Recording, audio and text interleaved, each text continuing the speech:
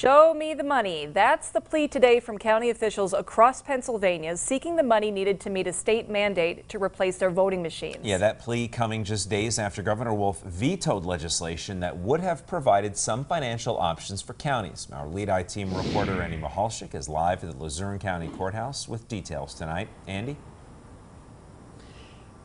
Good evening, Nick and Candace. Luzerne County officials tell me they don't know where they are going to get that money. They simply don't have it. And they're not alone. Well, listen, we're disappointed um, in the veto based, based upon one thing. We need the funding in order to move forward with the machines here in Luzerne County. Luzerne County Manager Dave Pedri isn't pulling any punches. He said when he heard that Governor Tom Wolf veto Senate Bill 48 on Friday, it was like a punch in the stomach.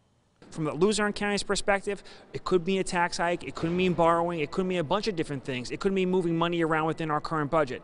We don't, all options are on the table at this point. But the option that they and other county officials across the Commonwealth had counted on is now off the table for now. That was funding from the state to help Luzerne County replace its 700 voting machines. The governor wants all voting machines in the state to provide a paper ballot receipt. This to ensure the integrity and security of all elections.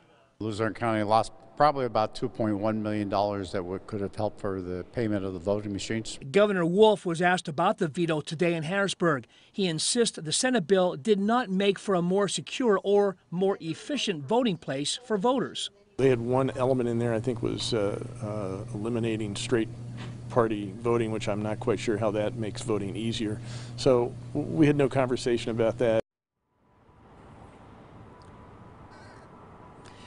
And the governor says he has to have conversations about that issue and others in any new legislation. At the outset of this report, I talked about Luzerne County not being alone. I talked to other county leaders across our 20 county coverage area. Lackawanna County, our second largest county in our region, told me they were counting on $1.5 million from Harrisburg as part of that bill, money they now will not be getting.